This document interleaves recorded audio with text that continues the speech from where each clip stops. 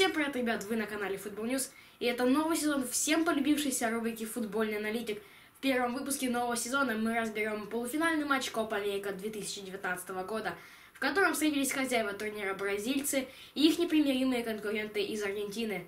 Что из этого получилось и кто достойнее быть в финале, узнаете в сегодняшнем ролике. Готовы? Тогда поехали! У сборной Аргентины значимых потерь не было, а у Селисао было две значимые потери – Первая – Эвертон, играющий на позиции левого вингера, а вторая – Фернандинho, играющий на позиции центрального опорного полузащитника.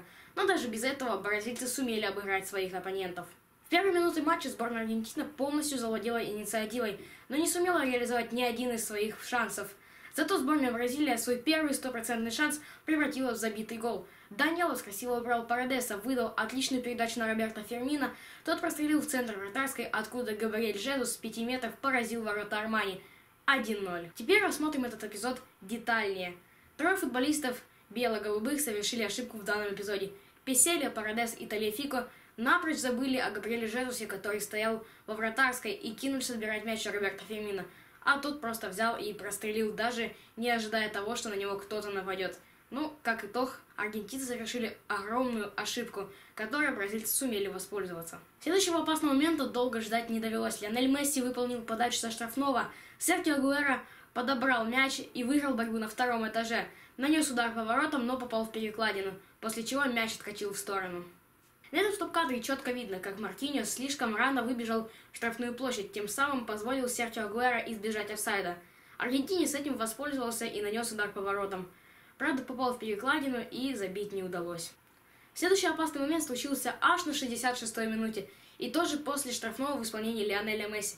Правда, в этот раз капитан сборной решил самостоятельно пробить по воротам, но Алисон Беккер был на высоте и потащил мертвый мяч из верхнего угла ворот. Вновь вам предлагаю рассмотреть момент детальнее. Правда, в этот раз я укажу не на ошибки, а на грамотные действия.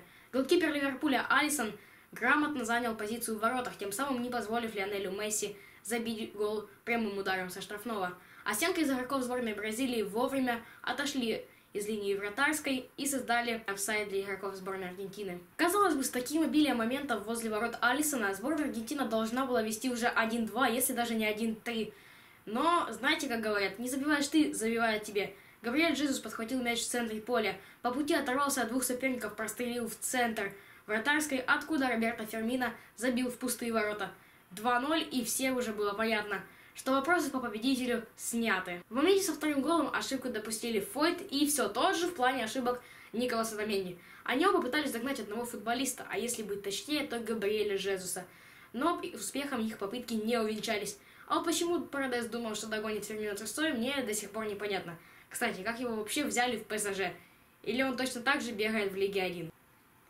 И вот прозвучал финальный свисток, который сообщил нам о том, что сборная Бразилии выходит финал домашнего Копа Америка. На с вами был, как всегда, Миша, канал Футбол News. Любите футбол, подписывайтесь на канал. Пока!